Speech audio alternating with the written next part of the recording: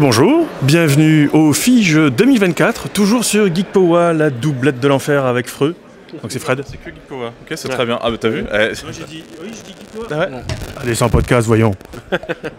Non, moi j'ai entendu Geekpowa, donc c'est bon. Euh, voilà, c'est maintenant c'est- que nous. Et du coup, euh, bah, là, on est avec euh, Jack de Pattern Recog. Alors, les barbus alors, moi qui la mais oui, si tu veux. Donc on est avec Jack euh. Salut. D'ailleurs, félicitations pour, euh, pour ton Graal d'or. T'as vu un peu? Ah oui. Non, non, ouais. Coucou aux barbus, bravo à vous. Donc ouais, salut, Jack, bah, de Paterne. hein. Ouais. Merci de m'accueillir. Ouais, et puis bah écoute, merci de nous donner un petit peu ton temps parce que c'est un peu compliqué. euh, C'est la course, on a réussi à trouver un créneau. Ouais, puis c'est bon. samedi en plus, donc là ça y est. Ouais, ouais, oh, bah nous c'était hier la journée la plus dure, mais Ah ouais. euh, ouais. là ça va, au pro ça va, un peu cool. Un peu. Euh, bah écoute, du coup, bah, comme on disait, donc, on est super content de t'avoir. Ça va être l'occasion de parler un petit peu de l'actu de Pattern. Ouais, il y en a quelques-unes. Parce qu'on a déjà les PDF Dark Doom, ça c'est bon. Ouais. Et a priori, le BAT, ça devrait plus trop tarder. C'est ça, bah, le BAT je l'ai reçu, j'ai reçu mon sample juste avant de partir à Cannes là, donc euh, je le valide quand je rentre, lundi au mardi, et après la prod part. Donc aïe, c'est fait. euh, aïe. Ça y est, On, on- on y arrive. Encore désolé, mais on y arrive. Ah oui, non, mais on va parler des projets après. Donc ça, c'est euh, l'actu euh, voilà, chaude. euh, Ouais, l'actu du moment, c'est ça, Arc Dome, euh, voilà. quoi.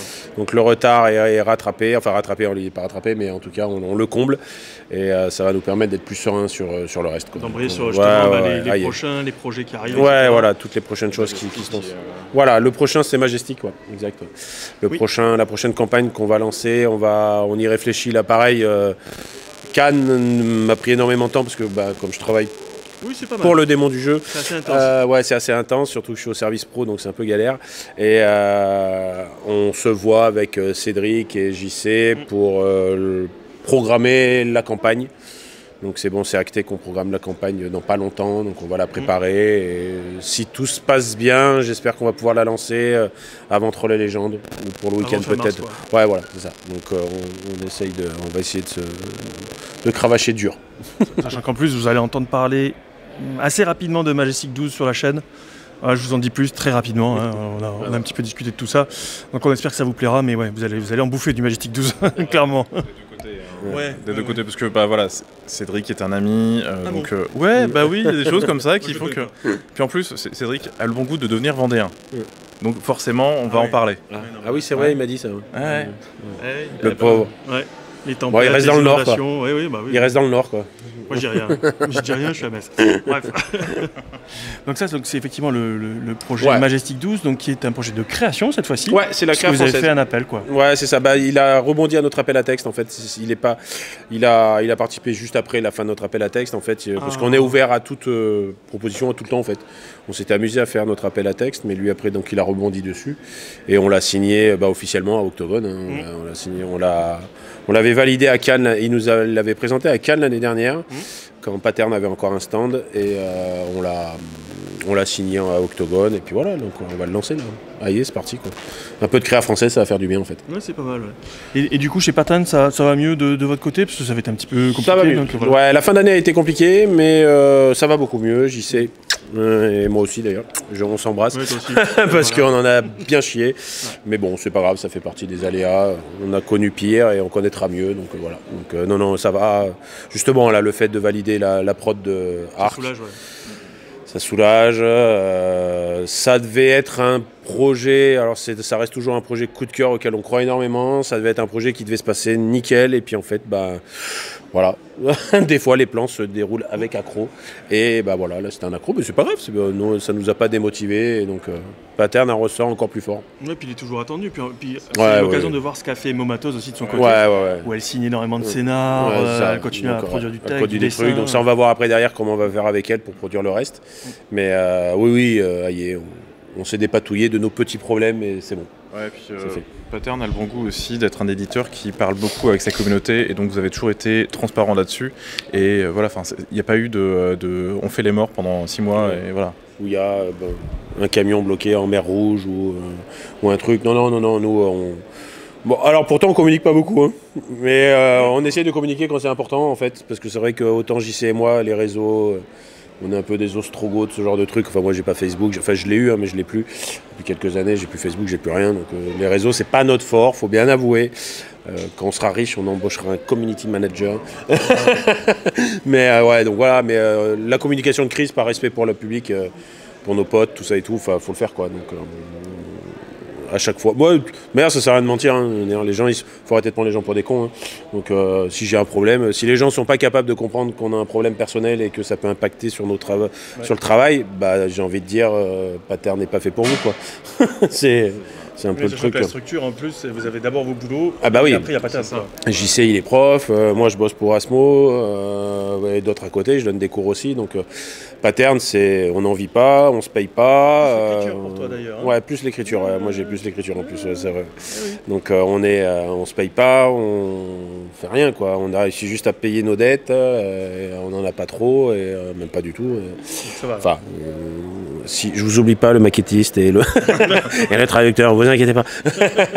non, non, c'est à l'arrangement qu'on a ensemble, donc il n'y a pas de souci. Mais voilà, donc euh, oui, donc c'est galère quoi. Et donc après des problèmes impactants de la vie, euh, t'as beau essayer de te sortir la tête du guidon, euh, faut se prendre le mur, on l'a pris. Et puis voilà. Maintenant, c'est fait. Ouais, Maintenant, ça repart sur de bons auspices. ouais. Euh, et du coup, la suite des opérations. Alors, moi, il y a deux projets coup de cœur qui arrivent vous. Enfin, voilà, on avait déjà parlé de euh, euh, At First They Came. qui, voilà, à chaque fois que je te vois, on en parle parce que tu m'as montré le bouquin, j'ai fait c'est toi qui vas le faire. Enfin, j'ai vu le projet sur KS à l'époque, c'était une révélation. Ouais. Et là, tu m'as dit que tu le fais. Ouais, ok, d'accord, vas-y. Et oui, ouais.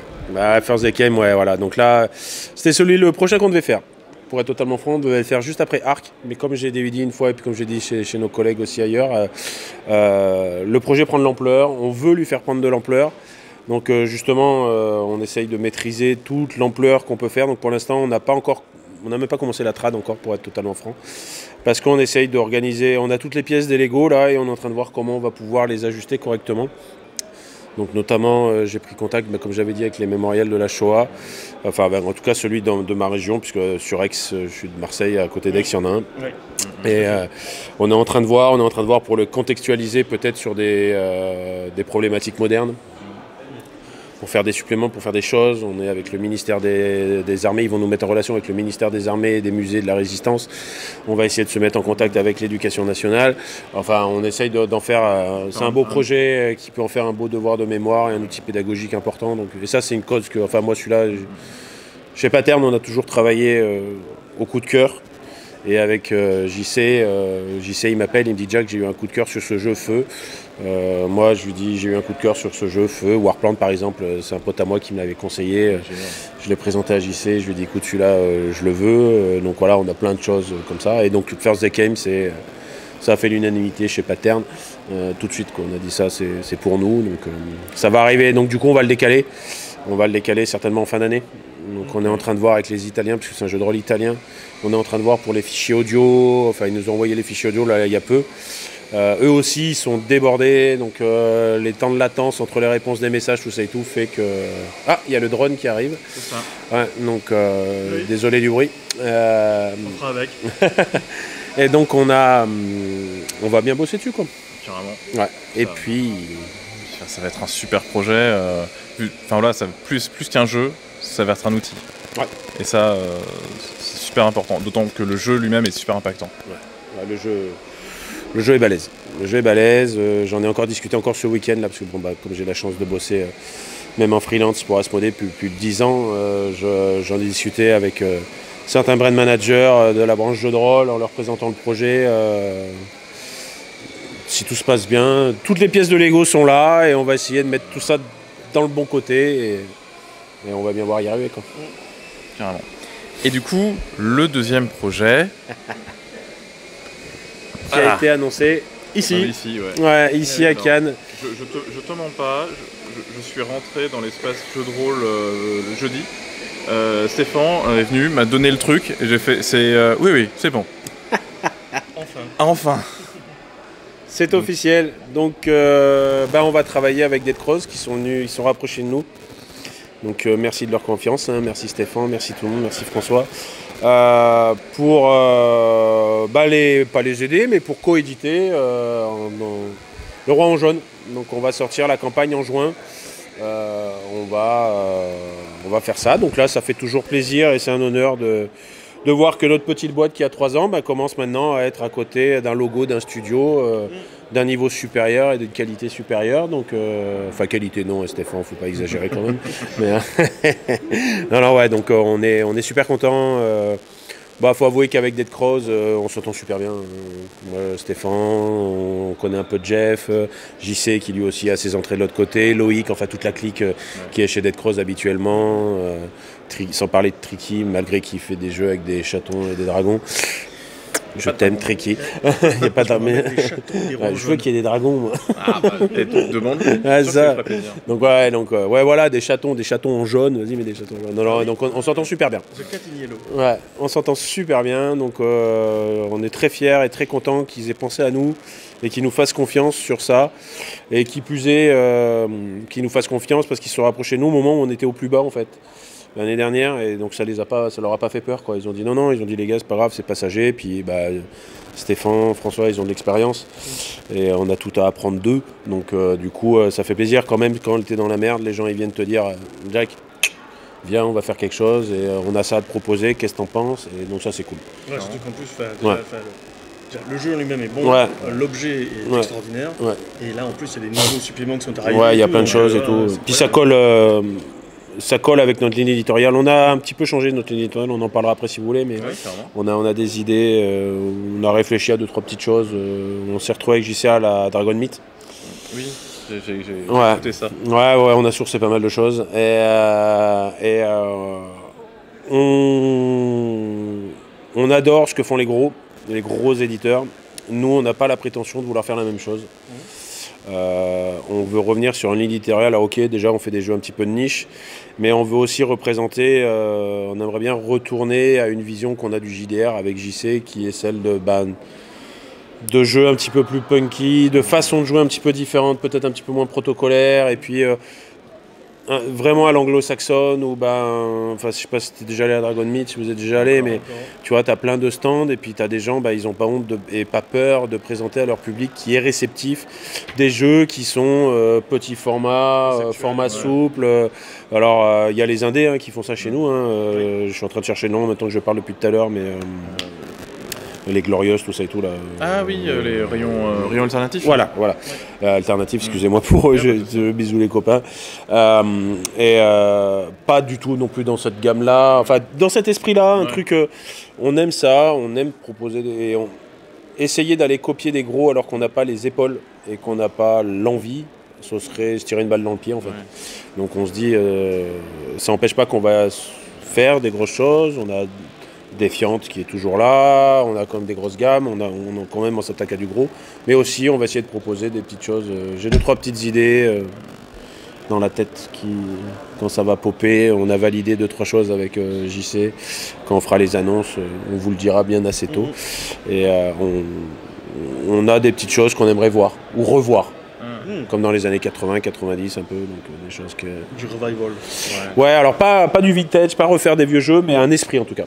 L'esprit, on va pas aller chercher, on va pas faire du, du vieux jeu. Non, non, non, non. Pas du Mary Mushman, mais euh, au moins dans la, dans, la, dans, la, philosophie un petit peu qui va ressembler. Ouais, voilà, c'est ça.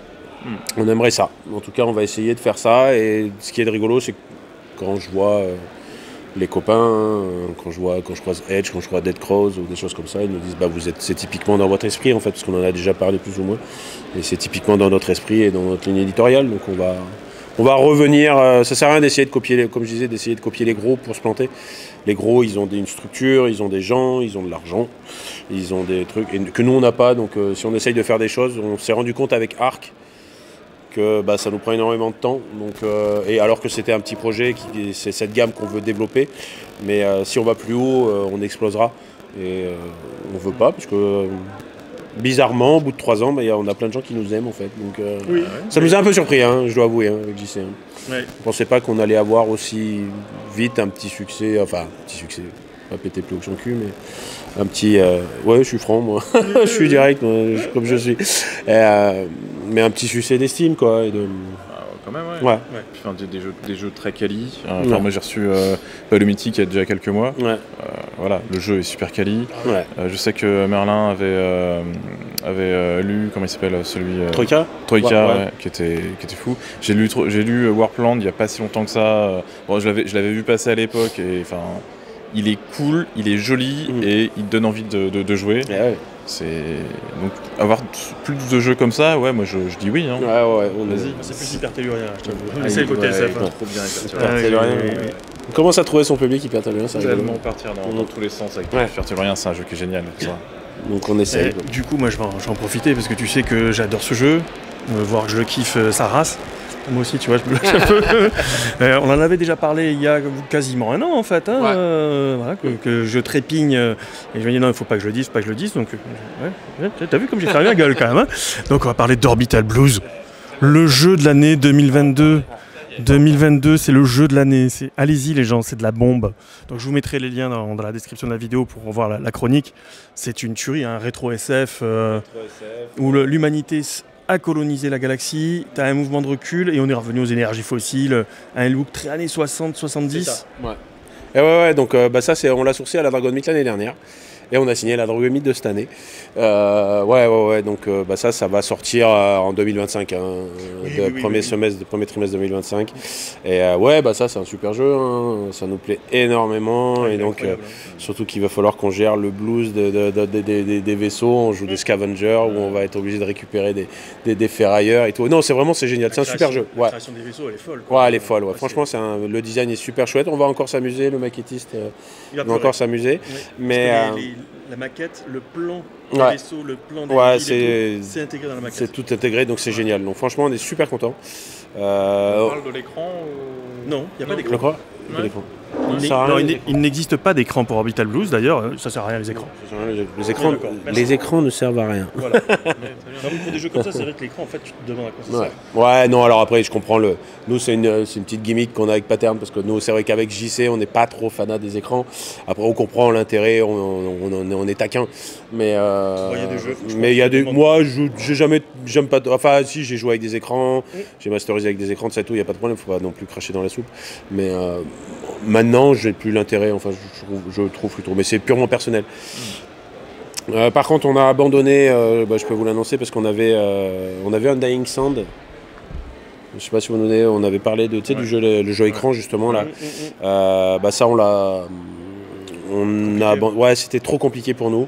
Donc d'un commun accord, on a, on a décidé de ne pas le faire. Donc voilà, donc on a, tant pis. Euh, C'est pas un échec hein, puisqu'on est super content. euh, L'échange est super bien. Sur d'autres projets, peut-être qu'on travaille ensemble, mais celui-ci était peut-être un petit peu trop ambitieux euh, pour la logistique et pour le, le- la fabrication. Ouais, Ouais, pour la fab, tout ça et tout, pour la prod, c'était, on n'aurait pas pu gérer. Donc on s'est dit, ça sert à rien d'aller droit dans le mur. Donc c'est pareil, hein, communication transparente aussi bien avec. Et puis ça s'est super bien passé. hein, le mec, tu lui expliques, euh, donc il n'y a pas de problème. Ouais. J'en- profite, excuse-moi, j'en profite pour revenir sur Orbital Blues parce qu'il n'y a pas longtemps, il y a eu le Kickstarter pour la suite, donc Afterburn, l'extension, avec des scénarios et tout. Ça vous intéresse selon le succès du bouquin de base ou pas du tout? Comment On va voir, euh, comme on disait tout à l'heure, euh, la SF en français c'est compliqué. Le jeu de rôle SF c'est encore plus compliqué. Déjà qu'en littérature c'est compliqué, donc euh, euh, on, on s'en est pas rapproché encore pour l'instant. On va voir justement, on va déjà faire Orbital Blues, et puis après on verra bien comment, comment ça tourne. Donc, euh, De toute façon, c'est un jeu incroyable et il va cartonner, vous êtes obligé de l'acheter. Si vous regardez cette vidéo, vous êtes obligé d'acheter Orbital Blues. ouais, en français, Oui, voilà. en 2025. Ah oui, quand même. hein. Ah ouais, donc euh, on n'achète rien avant. C'est, euh, Ouais, t'achètes, c'est- ouais, ça. euh, sur Orbital Blues, t'attends. Ok. Ou t'achètes la version anglaise et la version française Ah, en c'est 2025. pas mal, ça c'est pas mal. C'est pas Comme mal. moi, par exemple.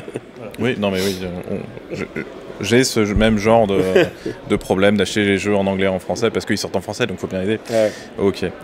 Euh, pour Arc Doom, euh, donc euh, Mometos, tout ça, elle a énormément de projets à côté. Est-ce qu'il y aura d'autres collaborations avec Mometos?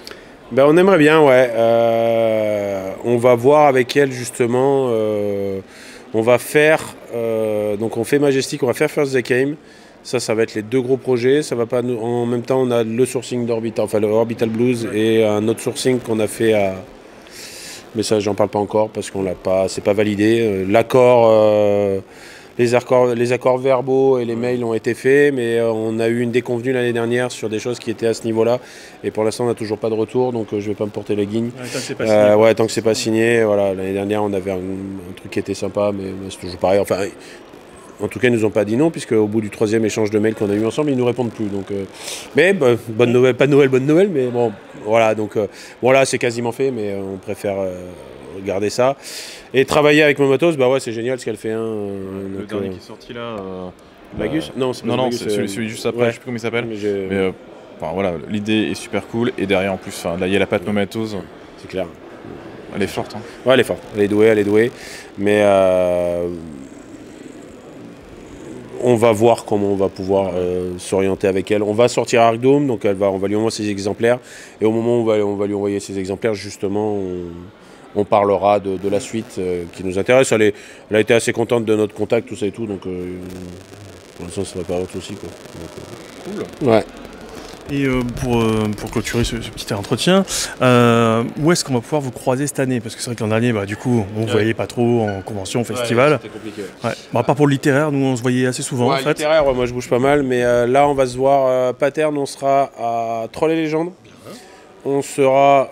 Où est-ce qu'on est, Euh, On fait Octogone, moi je n'y serai pas. On fait Octogone. On fait Kaiserberg, on fait les copains de Kaiserberg. Mais moi j'y serai pas. Euh, ah. non, c'est le week Je me fais mon cadeau de mes 50 ans, je vais voir du catch.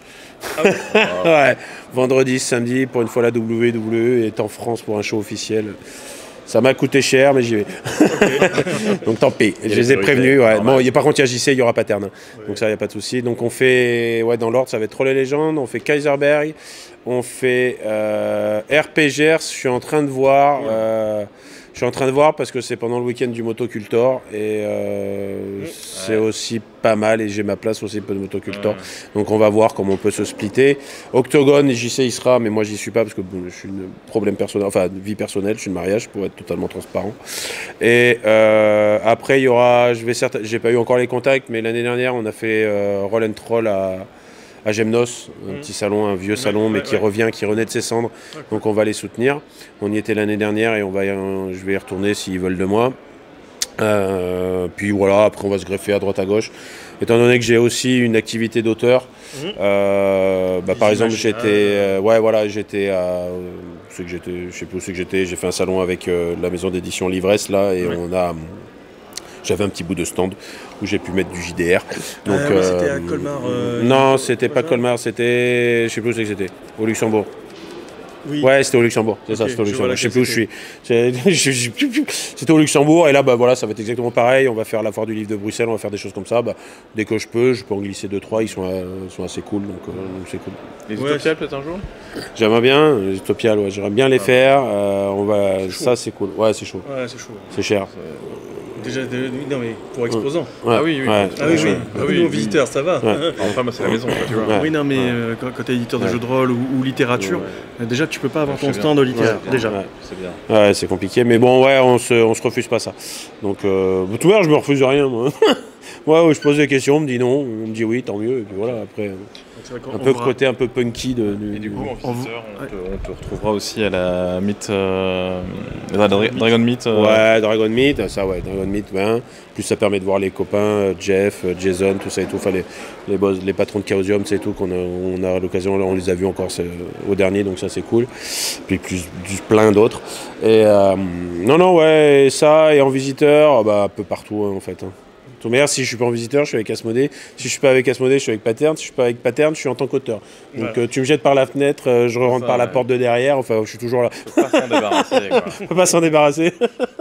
C'est vrai que nous, on s'était croisés pas mal de fois en littérature. Ouais, bah ouais, Donc on rappelle que Jack a signé une nouvelle dans l'excellente anthologie euh, western, hein, Ouais. euh, en deux parties, Aube et. Crépuscule. Ouais. Bon, de toute façon, on en a déjà parlé, on en reparlera, parce Ouais. qu'il y a vraiment des Bah, bons textes là-dedans. J'ai mon livre pour enfants euh, qui Ouais. va sortir, euh, Ouais. j'ai un nouveau texte qui va arriver aussi. euh, Donc ouais, ouais, ouais. Que ce soit avec ça, et avec Ogmios aussi, euh, mon autre Oui, c'est éditeur vrai. et tout. Donc euh, ouais, ça- D'ailleurs, Ça Ogmios, va. tiens, un petit coucou. ouais, salut Raph. Et, euh, donc voilà. Donc, euh, ça bosse quoi. Ah, bah, D'ailleurs, faut que j'y retourne. Bah oui, je vous aime, mais euh, mon pareil. patron il va me taper dessus. Ouais, puis nous, euh, il est temps d'aller se sustenter, puisque nous sommes le samedi midi. Euh, on remercie Jack et Pat Henricog pour toutes ces petites news. Merci Voilà, à vous. King in Yellow, et puis on se dit à, à la prochaine sur Indécent et Geek. Powa.